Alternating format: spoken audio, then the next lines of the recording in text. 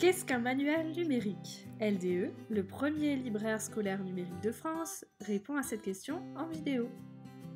Le manuel scolaire est utilisé en tant que support de cours depuis Gutenberg et l'invention de l'imprimerie. C'est l'invention du numérique qui nous permet aujourd'hui d'envisager son évolution. Le manuel numérique est une réplique digitalisée et enrichie de son homologue imprimé.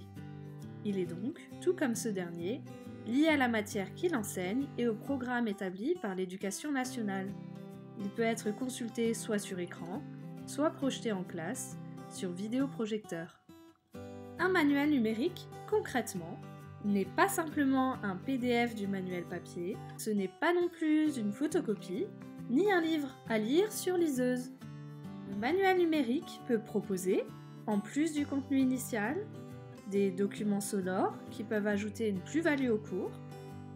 Unit 1, Lesson 1, Workbook, page 6. Des animations. Des vidéos.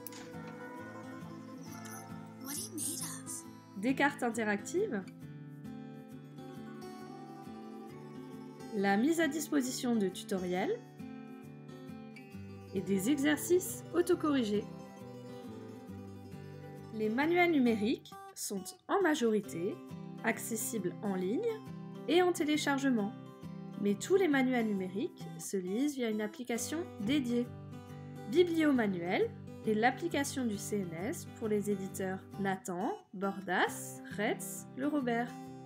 Educatoc est l'application du KNE pour les éditeurs Hachette, Atier, Fouché, Didier, Maison des Langues, Istra et Larousse.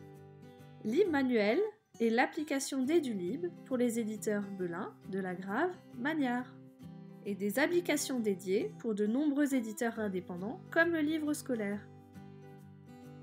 Un manuel numérique propose des abonnements d'un an et des abonnements pluriannuels.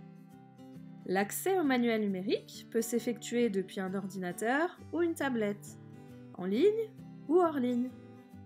Plusieurs offres existent. Un tarif préférentiel est applicable si vous possédez les manuels papier. La gestion est facilitée avec l'utilisation d'un ENT. Sans ENT, des outils tels que Crystal Web numérique existent.